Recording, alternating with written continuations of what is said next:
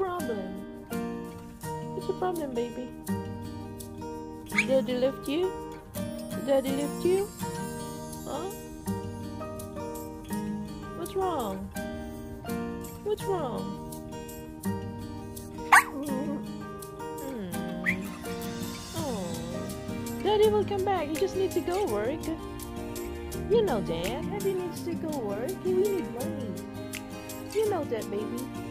You know that, baby. We need money. We need to buy you food. We need to buy you treats. So if daddy won't go work, we ain't got money. You know that. Don't cry, okay? Don't cry.